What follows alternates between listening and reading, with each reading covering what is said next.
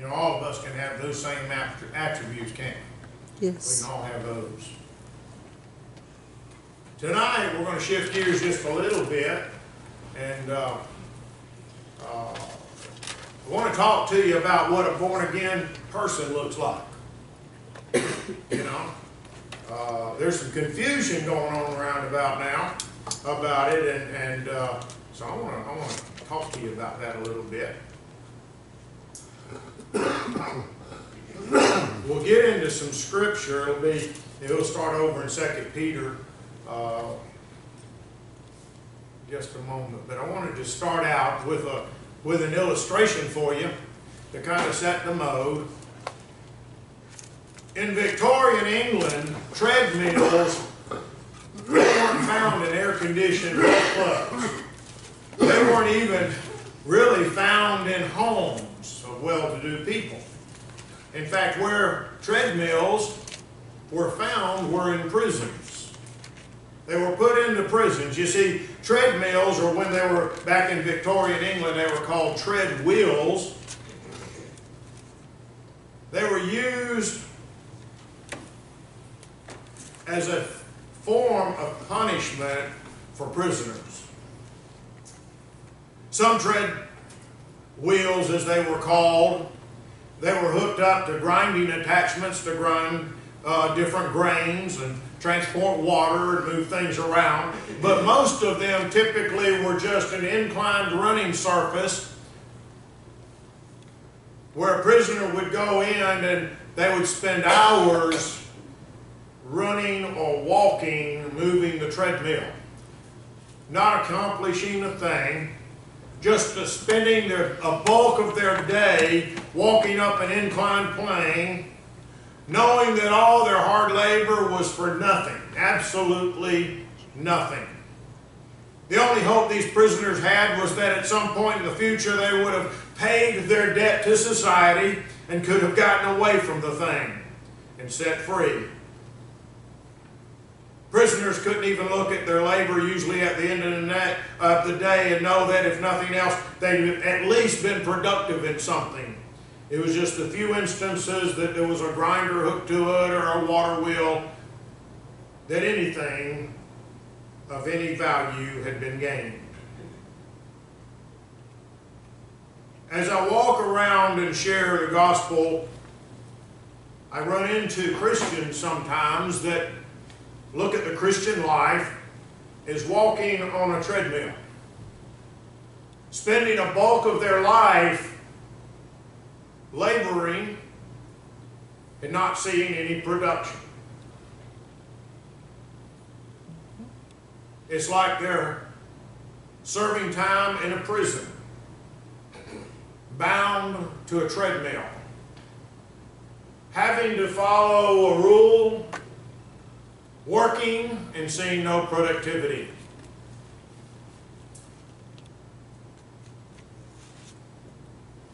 When I meet these people that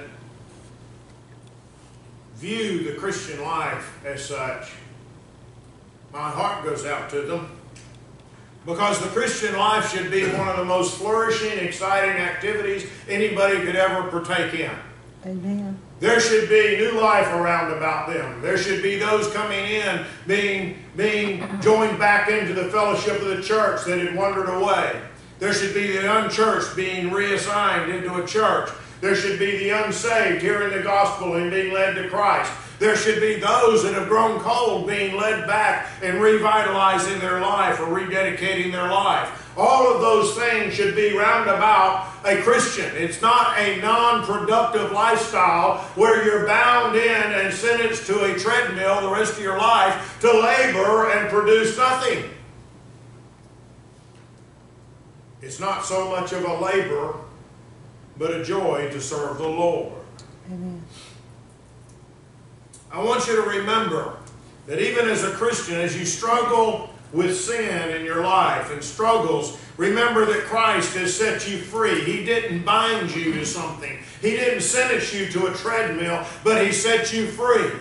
Whom the Son has set free, the Bible says, is free indeed. That's quite a contrast from some people's idea of what a Christian life is, bound up to a treadmill. Well, I got to get up and get on my treadmill and make it move a little bit because that's what Christians do. No, it is not. The Christian life is to be productive. The Christian life is to be like a tree planted by rivers of water, that the leaf never withers and the fruit is always in its season. The Bible describes a Christian life as that, not bound in having to follow a rule to produce something called a life that really produces nothing outside of itself. Mm-hmm.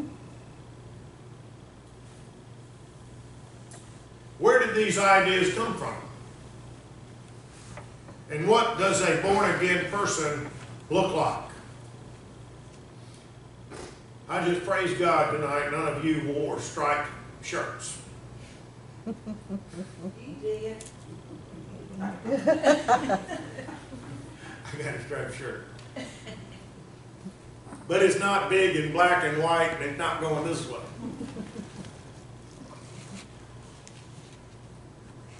We are not prisoners, we're servants, That's right. but we've been set free by the blood of Jesus.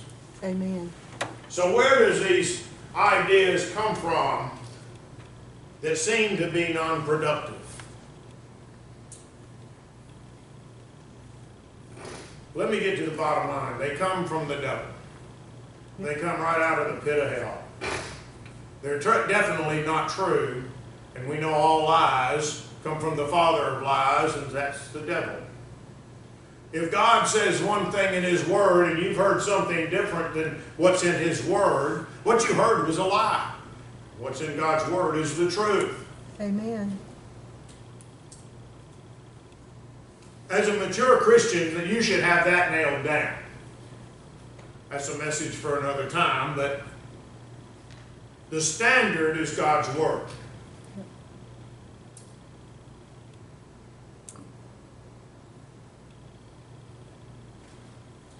And I, and I have had six children, and none of them had a tag that when they came out of her womb that I pulled on it and out came an instruction book on how to take care and raise that child. But God has given us those things. It's called the Bible. It's the authority on all of life. And nowhere in I here, and I've read it cover to cover, I've read even the outside cover of it, and nowhere in here does it describe a non productive treadmill type of life for those that are found in Christ. I don't find that. I find something else. now, my personality is a little different than yours, maybe. Maybe, maybe we're, we're, we're, we're quite a bit different. But let me tell you something. If I go over here to the Ford dealership and I buy me a brand new car,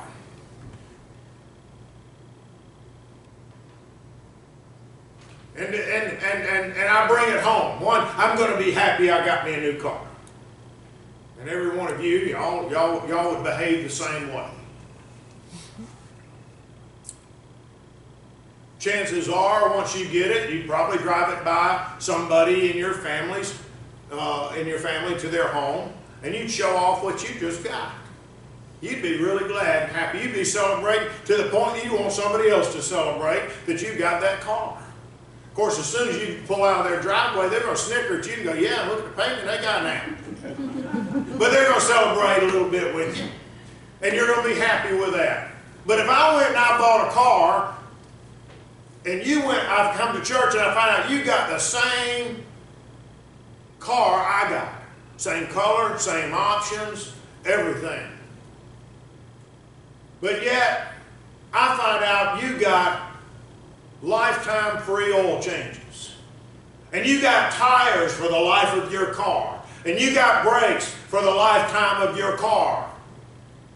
And I couldn't even get the windshield washer replaced in it without having to pay a couple dollars. and I had to pay for all the other things. And it's the same dealership. I would want to find out who, what salesman you talked to, and if it was Dan Stanley, I'd go talk to him too. I tried to straighten that out. That, that wouldn't be right. But I can assure you of one thing, the next time I go over to the Ford dealership and buy me a car, I'm gonna ask more questions. Because you wanna know something, I want, I want all the benefits. I want everything that you drove out with, and I want an extra keychain if I can talk them out of it. Yep. And when it comes to the life in Christ, and I see somebody walking around with an abundant life, with joy in their heart, with peace in their mind, not full of anxiety, not full of the problems, not full of the stresses of life, and I'm walking around with a burden about to break me in, I'm going to want to seek out and find out what they got.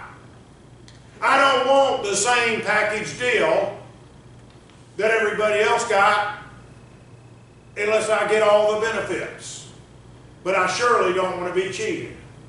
And in the Christian walk, when I see some Christians walking with joy in their life, they have issues, they have problems, they have health challenges, bill challenges, kids problems. They got every kind of problem that you could probably describe in, in this building tonight. But they've got peace and they got joy. They got a step, uh, a spring in their step and so forth. And then yet, if I looked at my own life and I saw myself dragging down and carrying a burden, I'd wonder what's wrong. I'm going to get the instruction book out. I'm going to get it and seek out where did I go wrong? How can I make this deal right? Why, Lord, why can't I get what they've got? How many of you would want to do the same thing that I just described? Yep. How many of you would want to go and get all the good benefits? Mm-hmm. And if you didn't, would you feel cheated? And then when you open up the instruction book and they find out there's words like whosoever joins this family gets all these benefits. You're heirs and joint heirs with Jesus Christ. You're on the same level as everybody else, and wouldn't you want what everybody else gets? You don't want them to get good stuff and you be left out, do you? Mm-hmm. Would you want to find out how they get it? So if you're on a treadmill and somebody else is on a cruise ship, you want to know what they did? They followed the holy instructions from God and you didn't. You followed a lie. You had the wrong salesman. The devil told you something and you bought into it. And obviously they found the truth. The way, the truth, and the life. And they're following that, and you're following something else. If you don't have the life of Christ in you, and somebody else does, you might be on two different roads. Just a thought. What are those thoughts? What are those two roads? I'm not talking about the road that leads to destruction. I'm not talking about salvation. If you've, if you've accepted Christ as your Savior, you're saved. But if each one of us tonight, tonight in this room were honest, there's times you feel like you're on a treadmill while everybody else is enjoying the ride. Why is that? I told you it's from following a lie. And that lie came from the devil. It came from the pit of hell. And the elements that start messing that up are outside of God's Word and inside the heart of man. It's called religion, it's called tradition. It's things God didn't intend for you to carry. You see, if I if I drove my Ford Mustang home from the Ford dealership and I'm only getting about nine and a half miles to the gallon, you're getting 34 miles to the gallon, and I'm scratching my head and trying to figure out what is wrong with this thing. it won't pass a gas station. Then I find out, well, the parking brake's been on since I bought it, and I've never released it. So I pull the parking brake off, take it to the dealership, have to put new brakes on it. But then my gas mileage improves. Now I'm not getting the I'm not getting the gas mileage you're getting. I'm only getting about 18 miles to the gallon now. It's better than nine and a half. So I start nosing along, and I can't figure out what it is. I get the manual out. I can't figure out at all. Until I go to Harvey's and I come out with groceries and I pop the trunk and I open it up. And somebody's filled that thing up with cinder blocks. And I've been carrying a load of concrete blocks around with me. Would that affect my mileage? Mhm. Mhm. It affects my performance. It'll affect the wear wear and tear on my tires. It'll affect the life of my transmission. And when you're carrying an extra weight in you, it'll be affecting you. If you're adding something to God's word to your life, you're adding a burden Christ didn't accept for you to carry. He didn't. He did not die to put you on a treadmill. He died to give you life and more abundant, to make you look like Him, to make you look like a Christian. I believe you ought to look like a Christian. So let's go into that. In 2 Peter chapter 1, verse 4. 2 Peter chapter 1, verse 4 says, whereby, whereby are given unto us, who's it given to? Us. given to us, right? Whereby are given unto us exceeding great and precious promises. That sounds like a good deal to me. Exceeding great and precious promises. That by these you might be partakers of a divine nature, having escaped the corruption that is in the world through lust. We're told that we are to give exceeding great and precious promises. That we might be partakers of the divine nature, the nature of Christ. So we are supposed to start looking like Christ, the divine nature of Him. I'm not talking about we're all going to grow gro- long hair and a beard and dress up in white pajamas or something. That's just one art, artist rendition of Jesus. But we're to start looking like Him. We're to be like Him. We're to, to partake of His divine nature. Why? Having escaped the corruption, that means we've been in prison. Prior to Jesus, we were doomed. We were sentenced to death. But we're, ha- we're to escape the corruption that is in the world.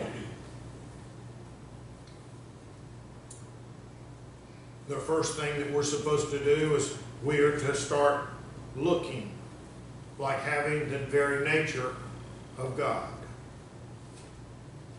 One of the earliest Bible verses that I remember learning as a child, and it was just the small one. You know, it, when you were little in a child's Sunday school class, they didn't always give you the whole verse as your memory verse, they'd give you just some of it.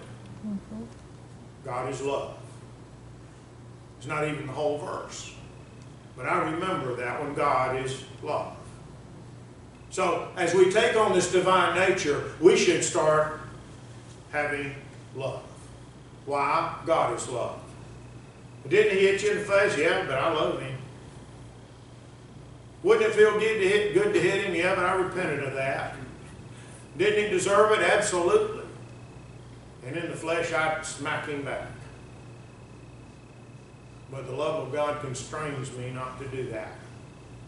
You start taking on the nature of God, and God is love. You take on that nature. You take on that nature towards your enemies. You take on that nature towards your neighbors. You take on that nature to your brothers and sisters in the church. You take on that nature to your children. You take on that nature to your spouse whenever they've disappointed you and got you angry. You take on the very nature of God. You start looking like Him. You start taking on that nature. So what does a what does a person that follows God look like? Well, they start taking on the nature of God. Second, they he has an image which is of God. They take on the nature of God, but they start taking on that very image which is God. Colossians 3:10 tells us this. Listen to this. And have put on the new man.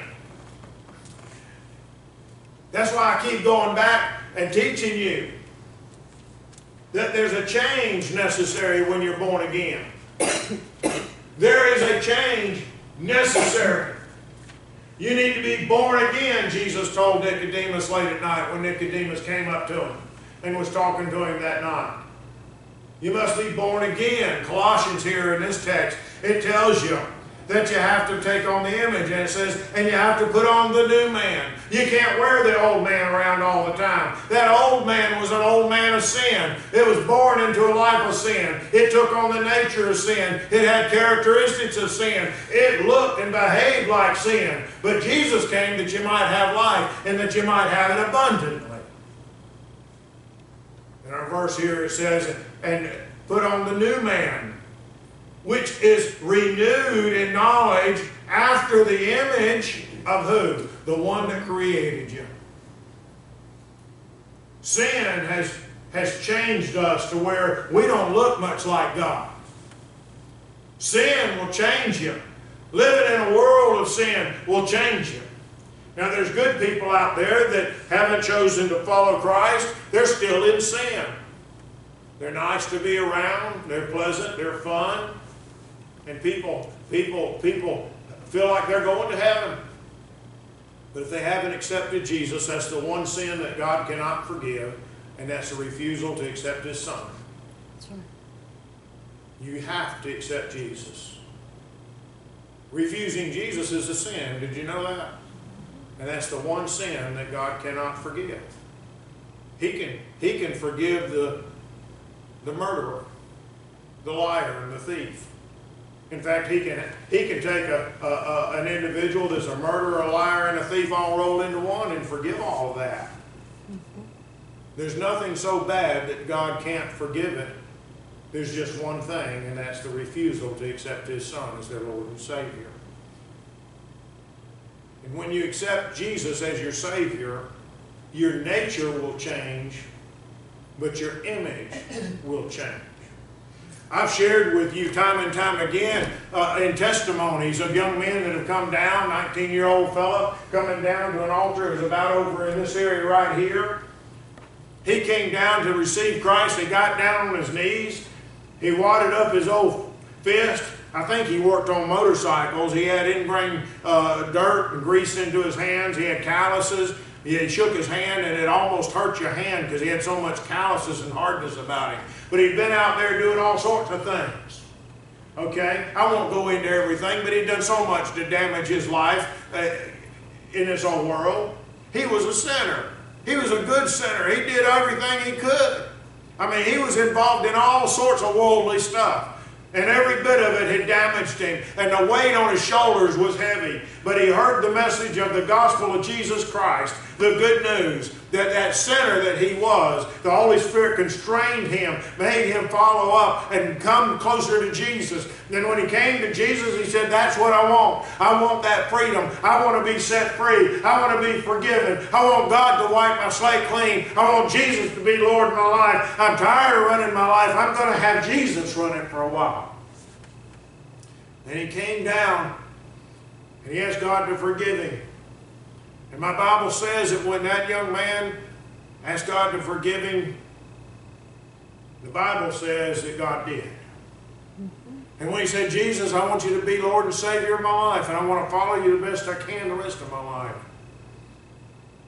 My Bible says that Jesus came into his heart and became Lord and Savior of his life. And that young man, 19 years old,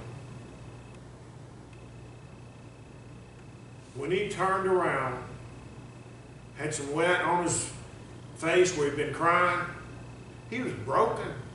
He realized he was a person undone without Christ. He needed something. He was a sinner that needed a Savior. He was a failure that needed to be forgiven. And when God touched him and forgave him, and Jesus became Lord and Savior of his life, his face looked different. The hardness was gone. The grease stains were still there, but the hardness was gone.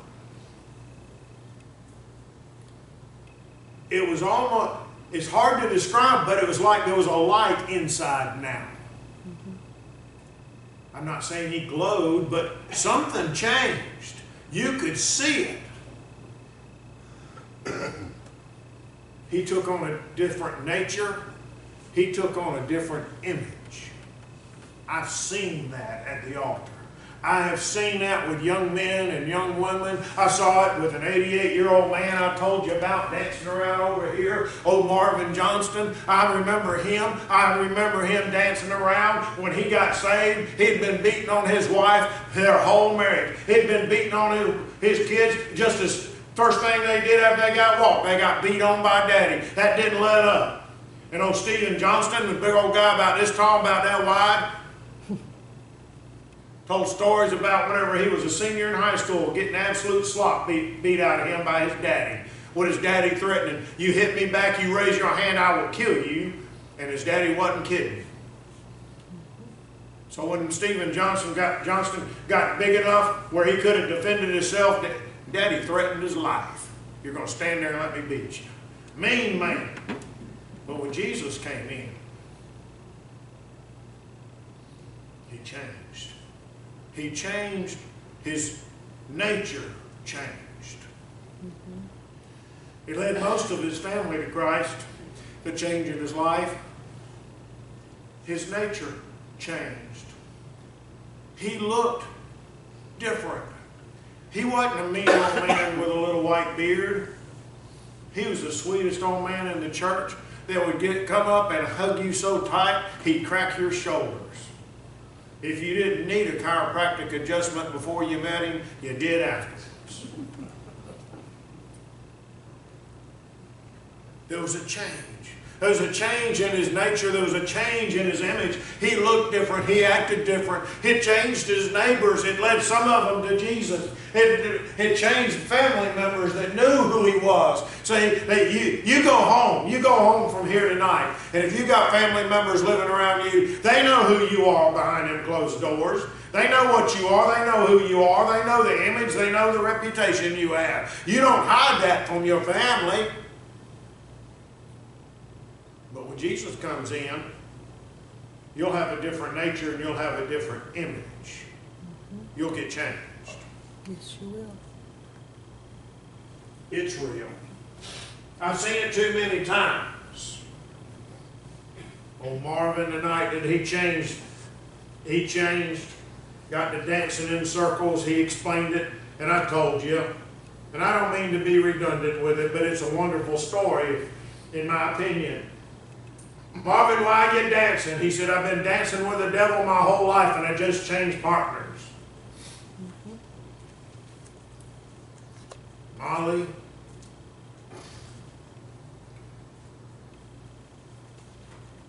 later that night, I've never shared this, but later that night outside the church, she came up to me with tears in her eyes and everything else. And she said, Pastor, I need to talk. I said, Molly, what's wrong? She says, Marvin won't be able to serve the Lord as long as he served the devil. Isn't that a shame? But isn't it good we got a God that didn't keep the record and wiped it completely out? Absolutely. You see, God didn't keep up with the 88 years he had served sin, but he gave him an eternity, blessed with life, with a new image, a new nature.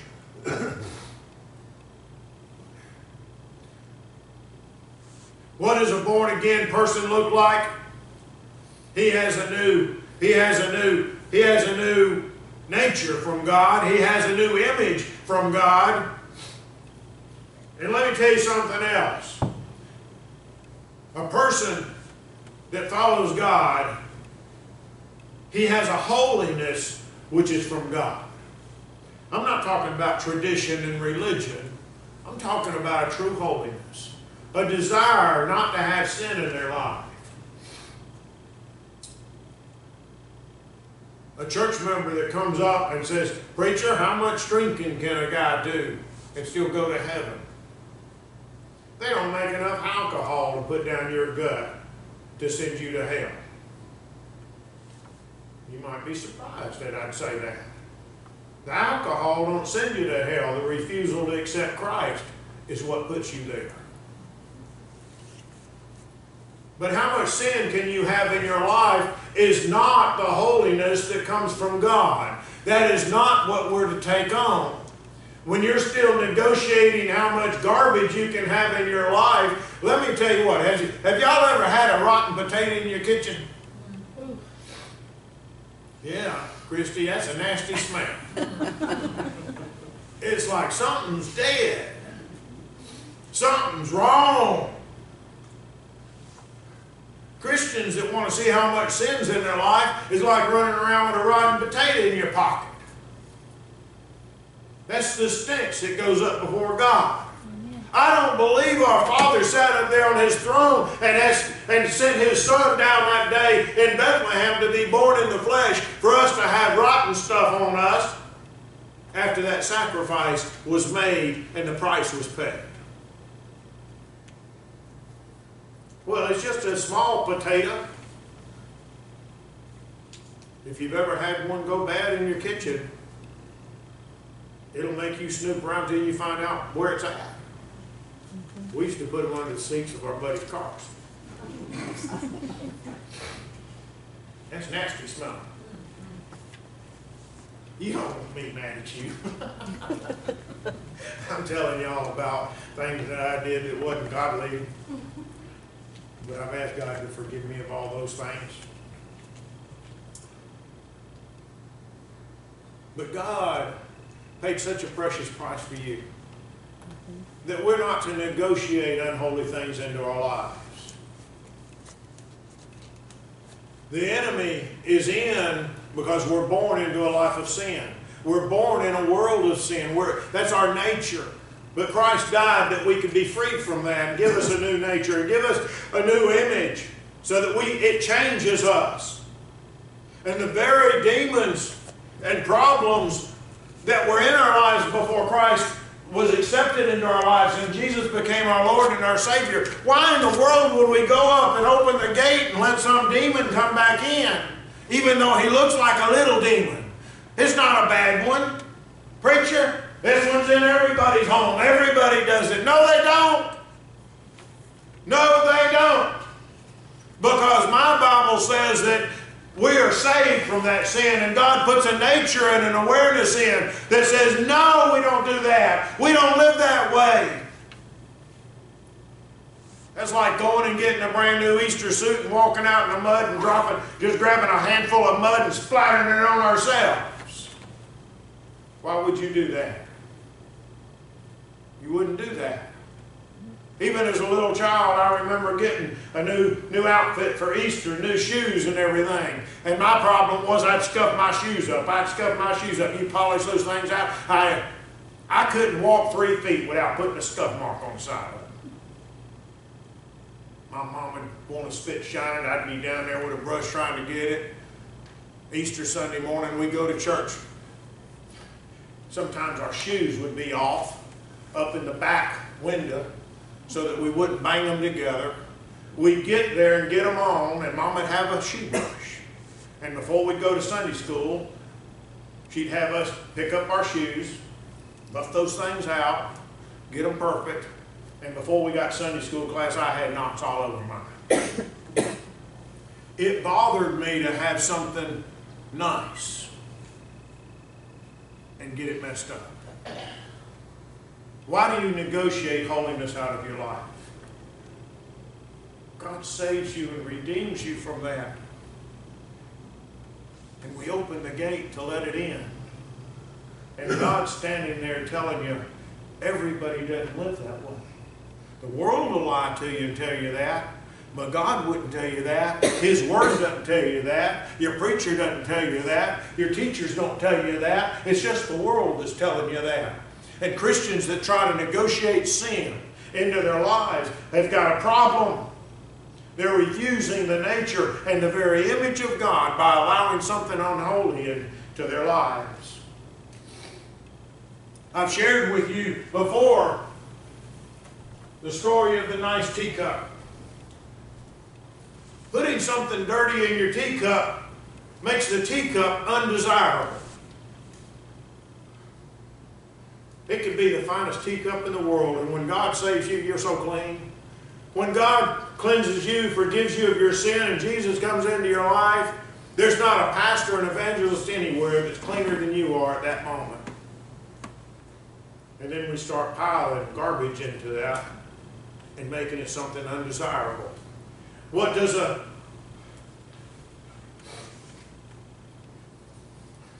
what does a born again person look like? They have a new image, they have a new nature about them, and they have a holiness which is from God. Look over in 1 John 3 9. 1 John 3 9, one of the little books. Listen to this. It's talking about a holiness which is from God. Whosoever is born of God does not commit sin. Whosoever is born of God does not commit sin, for his seed remaineth in him, and he cannot sin because he is born of God. What does it say? Let's take the first part. Whosoever is born of God does not sin. When you come to Jesus Christ, when God forgives you of your sin, your nature is changed in such a way. Holiness is installed as a super option into your life. Holiness is, is something God gives you, it comes from Him, and you don't want to sin. The desires of your heart, when you become saved, when you give your heart over to God, when you start to live for Christ, your intention is not to go out and see how much sin it is. Your intention at that moment is to live a holy, a pure, a godly life. You give it a little bit of time, and this whole world will teach you some new sins, I won't it? Things I didn't, I didn't even know that was out there. That sounded like fun. And for a season, it might be. But the one that's born of God, says does not commit sin. That's not your nature. You got a new nature, and your nature is to live a holy life. Why? For his seed remaineth in him, and he cannot sin because he is born of God. There's a new seed that's been put in, and it's not the seed of sin, it's not the seed of Adam, it's the seed of Jesus Christ through his blood and his sacrifice that is now in the, in, inside of you, and you're born of God. That holiness, it comes from God. Jesus said, If I abide in you and you abide in me, wow, you live the type of life that he intended. Y'all remember the morning I brought the fish bowl in with the little fish and, and, and, and got the dip net? And I was talking about abiding in him and him abiding in you and how that fish was in the water, but the water was also in the fish. And I pulled that, I pulled, pulled the little fish out with a dip net and I'm standing there and I'm preaching to you and Leah's about to die because I've got the fish hanging out of the water. And I'm preaching and he's wiggling a little bit. And the more I preach, the sicker she's getting because I'm going to kill that fish. She just knows I'm going to kill the fish. The problem was is that fish had been in the water and the water was in the fish and it was fine. And we named that fish Preacher, and he, he, he died a little while ago, but he lived a good long life. Mm-hmm. He'd come up, take food out of your fingers when you brought it over, and he'd follow you around. And when you come in in the morning, he got all excited. So I had Scooter wiggling on the floor and him wiggling up in his tank. Both of them wanting attention.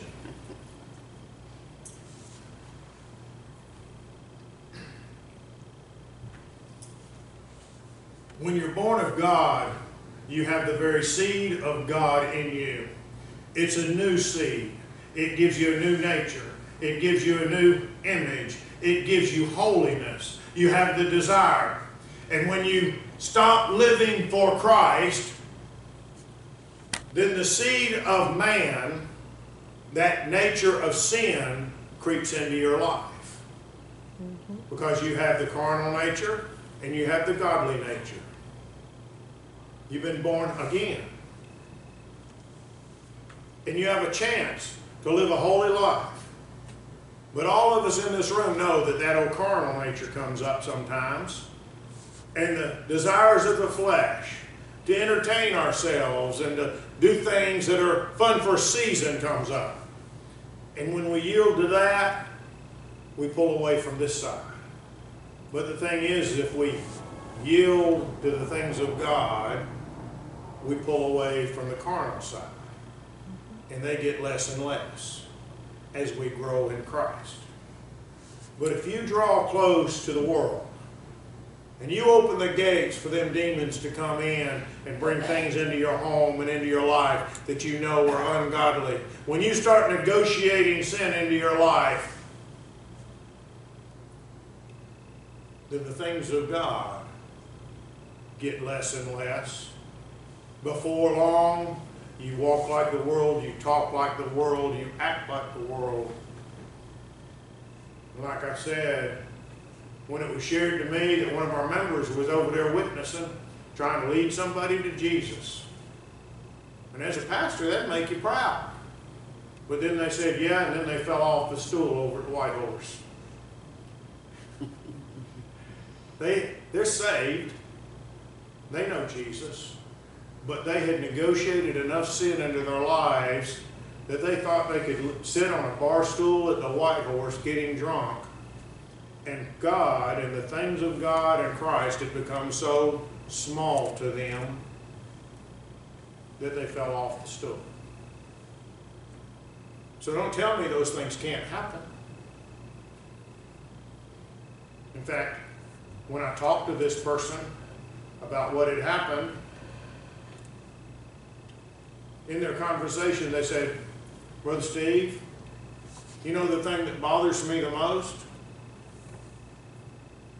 I don't think I've ever shared Christ with anybody sober.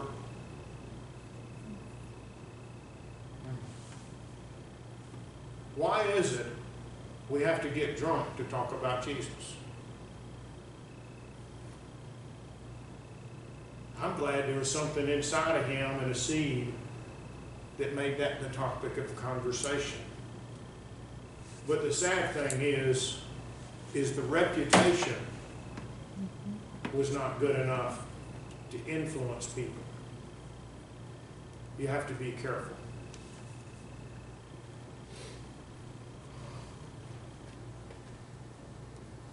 Pray for these people.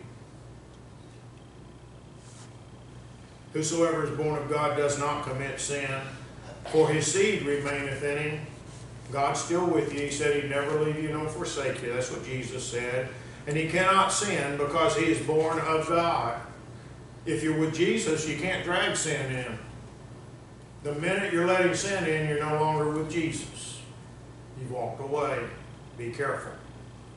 So, how does a born again person look like? What does it look like? He has a love which is like God. 1 John 5 2. And in closing, he has a love which is like God. By this we know that we love the children of God. Who do you love? the children of God. That's your brothers and sisters? By this we know that we love the children of God when we love God and keep His commandments. Hmm. Commandments, simply stated, are the things that Christ has taught us. By this we know that we love the children of God when we love God and keep His commandments. What does a born again person look like? He, they have a love which is like God. When you were in your deepest, darkest part of sin, did God love you? Yes. Then we're to love our brothers and sisters when they're in sin. What if their clothes don't meet certain standards? Are we uh-huh. supposed to love them?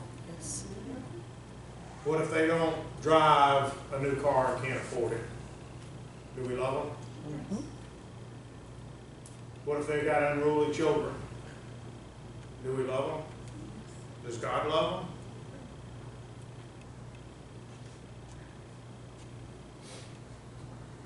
I know my oldest brother got in a situation where he owed a lot of money and they were struggling financially. He was working, he was a city of Atlanta policeman and working side jobs trying to be, meet all his bills.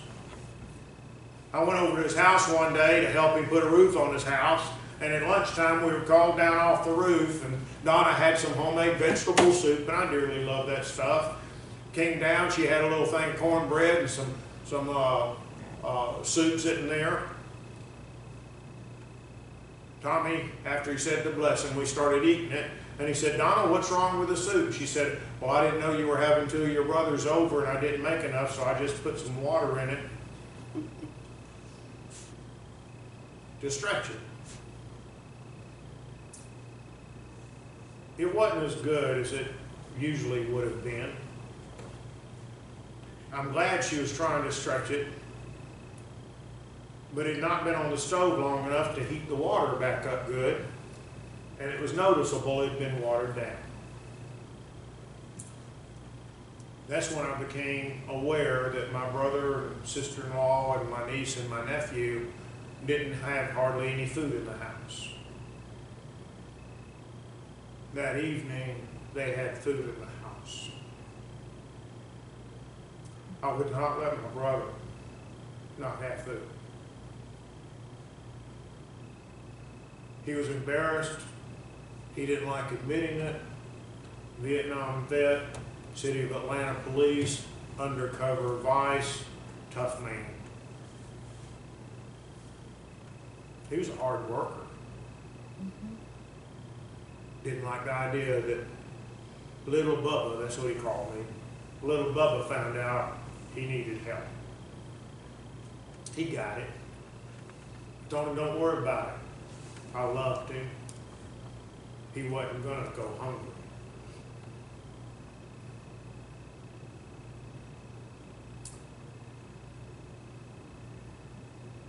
How do we treat our brother? How do we treat our sister? How do we treat our neighbors out here? If they're in need, and God has blessed us, we're to love them. Why? Because to be like God and to look like our Lord and our Savior, you have a love which is like God. 1 John 5 2, we read it. By this we know that we have that we love the by this we know that we love the children of God when we love God and keep his commandments. Hmm. It's part of our image. It's part of what a Christian looks like. Let me go back through this real quick with you. If you don't have a nature which is from God, you're probably on a treadmill. If you don't have an image which is from God, you might be running on a treadmill. If you don't have holiness which comes from God, you might be walking, laboring on a treadmill. And if you don't have love, which is like our Lord and our Savior, you might be on a treadmill. But if you have a nature which is from God, you might be laboring for the Lord and not on a treadmill. You'll be productive. If you have a very image of God in your life, you'll find that you're productive. And that seed that's planted in your life is flourishing, and you're not on that treadmill, but a life of joy. If you have holiness in your life and not negotiating sin, you'll find you're probably being productive in life for the Lord and His kingdom and His work, and not on a treadmill following rituals and traditions. But the joy of the Lord has become your strength. If you have the love which is like God's, you'll find probably that people are drawn to you and you're influential within your community. So when you look at them and you say, hey, you need to come to church and be with us, we got it Monday night. We got a singing Thursday, it's going to be fun. We're going to have some good fellowship. If you have the love of God in you, you'll influence people and you don't have to worry about dragging them in. You can influence them in. Or like the Bible says, out in the highways and hedges, you'll be compelling them to come in, that his house might be full. Mm-hmm. If you're doing what God wants you to do, the way God wants you to do it, you're probably not on a treadmill, but you'll be productive. In closing tonight, the altar's always open here, you know that. If you need time at the altar, then the invitation is here. We'll be closing in just a few minutes. Does anybody have any needs? We look around, thank y'all for being here tonight. I know it's Mama's Day night, y'all's church isn't open, is it? Y'all are off, you know, you, you know, anytime you can, come on over here, you know. But y'all, if there's any needs, come. Just a handful of us here tonight. That doesn't mean, mean that the need you might have in your life isn't huge. If you're off base with God, you're in danger. In fact, by tonight's message, if you're off base a little bit, you're running a treadmill. I don't know if you know what that's like, but I've been on it. No fun. Just wears you out. And you get nowhere. But putting just a little bit in the hands of our Lord and Savior is like the boy with the loaves and the fishes. There's no telling what God can do with it. You'll be productive. If you'll take on the things we talked about tonight into your life, repent when you walk away. And there's nothing wrong with that word. Word. Maybe some of us have learned that, it, oh, if I have to repent, that means I'm off in a deep dark sin. No, you just might be heading in the wrong direction and you're in danger. Change direction. Go back to God. That's all repent means. That's a good thing. If I hadn't repented, I'd be bound for hell, unsaved. I learned something about repentance. Do it as often as you need to. Altar's open if you need it. I'll pray with you if you want me to. But if you just need to straighten some things out, now's the time to do it. We'll be dismissing in just a few minutes. I just pray that God's grace shines down on each and every one of you, that His favor goes with you, that you're blessed, and that you're willing to receive what God has for you. If you're tired, look at the things that we've gone over tonight. If you're weary and laboring over some things, the devil may have you on a treadmill running you to death, getting nowhere. But if you're productive in the kingdom of God, you'll have the attributes and the things that we talked about tonight. That's for you to measure.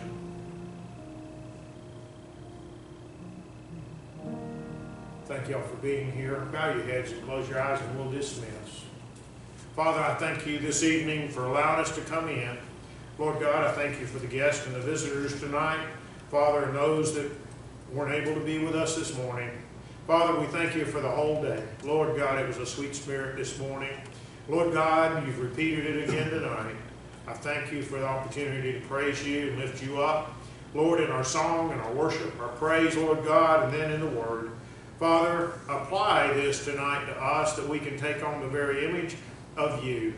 That, Lord God, as we're part of the family of Christ, that, Lord God, will take on the very image and the nature and the love and the holiness from you. Lord God, keep this message alive in us this week. Lord, give us opportunity to draw closer to you. Help us to grow in you, Lord. I pray these things in Jesus' name. Amen.